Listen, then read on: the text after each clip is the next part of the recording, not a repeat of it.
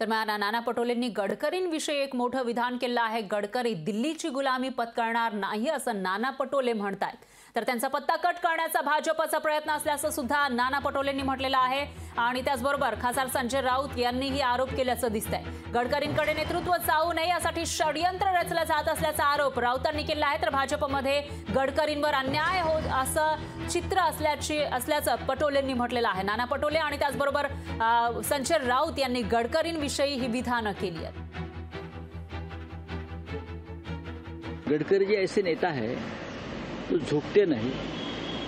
किसी के सामने डर कर गुलामी स्वीकारते नहीं। ऐसा नेता है, महाराष्ट्र का कद्दावर नेता है। छत्रपति शिवाजी महाराज का उनके ऊपर बहुत प्रभाव है, हमेशा वो बोलते हैं।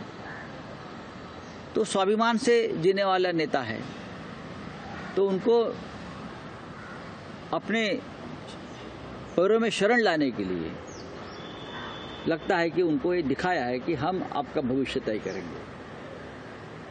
लेकिन मुझे नहीं लगता गडकरी झुकेंगे या डरेंगे। मला फार दुःख होतं. एक देशाचे मोठे नेते महाराष्ट्रामध्येही आहेत. म्हणजे ते प्रधानमंत्री होऊ शकतात.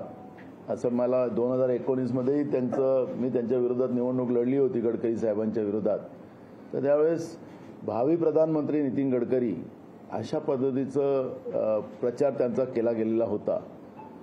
आता नरेंद्र मोदीचं नाव येत आहे राजनाथ सिंगाचं नाव येत आहे. आमच्या मुंबई तिकडे कमी पडले युपी मधून तर आमच्या मुंबईतून एकाला घेऊन गेले तर आता गडकरी साहेबासारख्या मोठ्या माणसाचं नाव का नाही येऊ शकलं? लोकशाही मराठी. ऐका पहा जागरूक रहा.